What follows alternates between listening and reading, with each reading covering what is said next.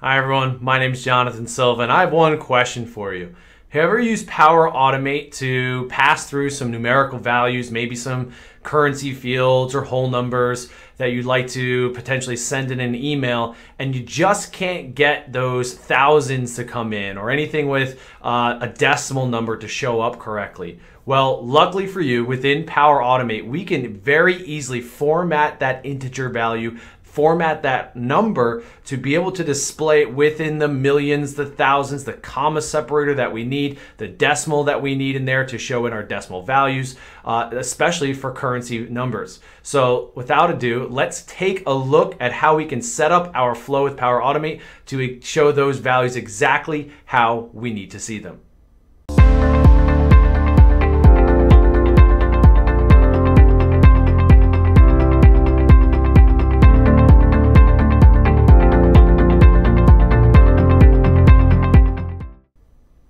Right, so here we are. Here is our very, very simple flow to showcase how we can format our whole number values, our integer values, whatever you see coming through. Now for this flow, all we have are two steps. The first is our trigger when an item is created on a SharePoint list.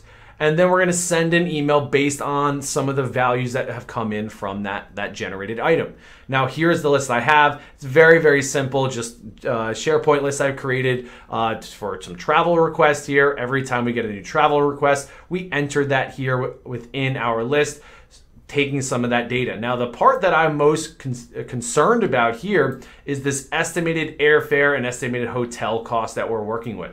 Right now, if you're looking at it from SharePoint, SharePoint automatically takes that numerical value and adds in that dollar sign and also adds in our th- thousand separator for our you know our, our, value there and in that dot zero zero right for our currency value here. That is something that we are not man, uh, manually adding in. If i were to look at this last one here i've just simply typed in the value and it is automatically going to be adding in that that additional piece and it's not anything that's actually carried over when we go to run our flow. In this case, if I go over to this flow and I have a, a run that I've just done, this is the result that I'm getting. If I get that email, it comes in and it looks just like this where we have the estimated hotel cost in this case, it's just one of the fields that I've, I've uh, captured here. It brings in the number, but it doesn't add in that comma, it doesn't add in the decimal for uh, the, the currency itself. So we have to actually change the way it's been passed through from SharePoint into Power Automate to be able to display it inside of this send an email step. So to get to that, what we're gonna do is just edit that step, edit that one field right here. Okay, that's this estimated hotel cost. This is our whole number value. So I'm gonna go ahead and delete that from there. I'm gonna make this nice and bold too as well. And what we'll do is, in order to add that specific value in here, we are gonna use an expression.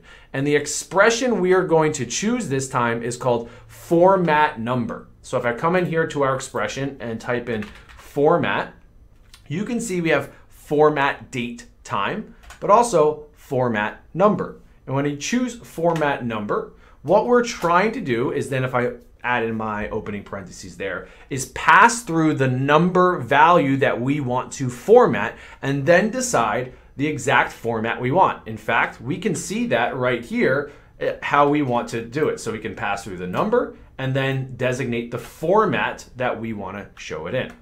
Okay, so the number I want to pass through here is coming from our dynamic content. So this is going to be my estimated hotel cost. So I'm going to go ahead and grab that.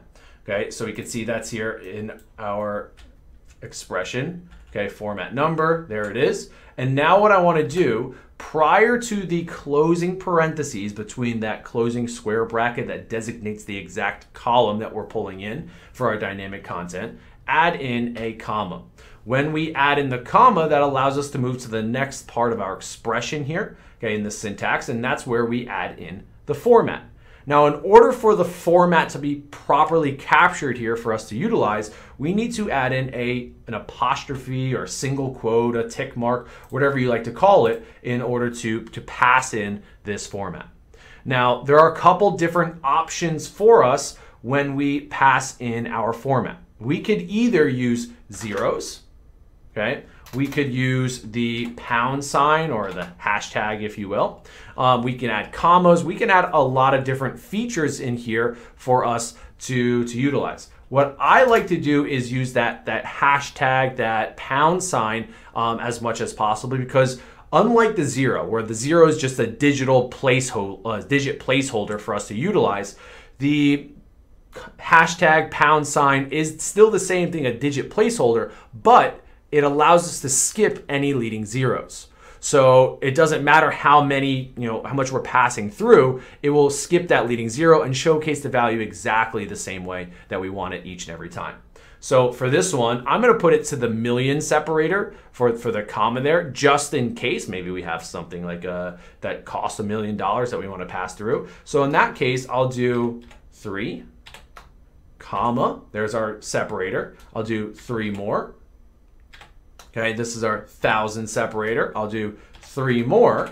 And then if you add in a decimal, zero, zero, what that's allowing us to do is add in those the, the, that decimal it and in the, the placeholder for those digits. So now I have to have a two digit number here for our decimal, right? If it's carrying that from our currency or if we're going to two decimal places, we're gonna carry that each and every single time. If there's nothing there within the actual value, it will do dot zero zero, right? It'll give us just a zero zero there anyway. Okay, so just in case we ever get that.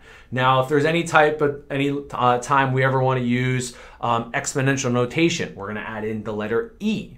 Okay, we can use um, you know a selection separator of a semicolon if we want to go from one section to the next. All these different things. If we want to add in a, a percent, the percent sign will allow us to get to that. All these little piece of elements that we can add in will allow us to view that specific value in the exact way we want it. So all I need to do now that I have that displayed here, I can just hit OK. And now you can see we have our format number added in. I'm gonna go ahead and make this bold as well, make sure it is bold. Looks like it was already. And then we'll save and test this once again to see the difference between the two emails.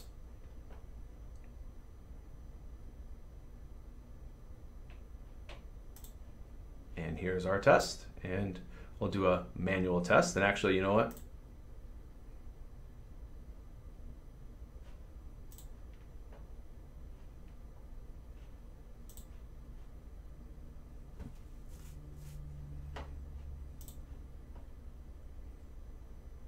And here's our test. We'll go ahead and use an automatic test with that recently used trigger. So we're just gonna see the exact same email to show them up side by side. Hit test, and here it comes. All right, the flow has been successful. I'm gonna take a look at my email.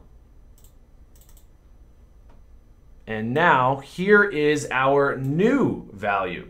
So now what you'll see is we are getting that comma separator for the thousand. We also have the decimal. We carrying the two digits there because we use dot zero zero in this case so that it does allow us to show that even if I don't have a decimal number. And that's a direct comparison to the one we got earlier, which doesn't carry that. So you can see the two side by side in this case. So you can see there it is. We are looking at one with the thousand separator, one with without. That's exactly what I'd like to have in this case to make things much, much better for us moving forward. Thanks for joining with this video, taking a look at how we can use the format number function here inside of Power Automate with our workflow definition language to display our whole numbers, our values with a comma separator for the thousands, for the millions, add in that uh, placeholder for our uh, currency if we're using any type of cents or having you know any decimal numbers to be able to pass through and to get the exact output we want every single time. Stay tuned for some future videos as we continue to work with some of this workflow definition language inside of Power Automate and come up with some great use cases and examples for you as you continue your learning process.